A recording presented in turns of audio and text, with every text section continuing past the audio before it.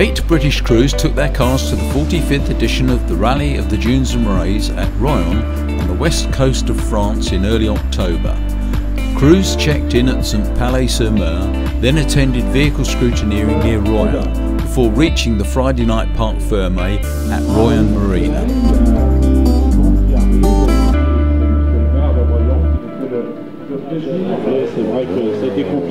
Il n'y en avait que deux parce que modification avec l'Europe, les formalités et les passeports sont un petit peu plus compliqués. Pour simplifier, les Anglais, c'est 175, 177, 180, 191, 193, 194. Ils sont suivre dans les numéros.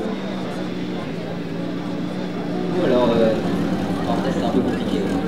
Passer de navigateur à pilote, c'est vrai que d'abord, on a 5 ans, on a l'expérience, on regarde le pilote, on va apprendre les réflexes et après, ça devient euh, ouais, je pense.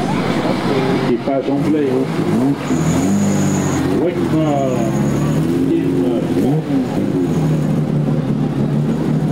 Anglais sur un privé de SAT. Et la chambre a été plus exporte. Euh, trois courses de moteur, c'est pas mal. Donc euh, voilà, on va essayer d'aller au bout euh, euh, et d'avoir le moins de soucis possible.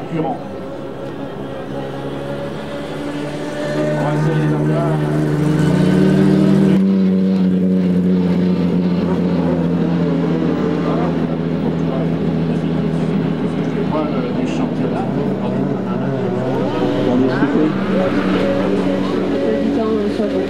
Voilà, question de, de boulot, de produit, c'est quelqu'un d'Auvergnat qui est rendu Basque. Voilà, Daniel Fabi et sa fille Clémence.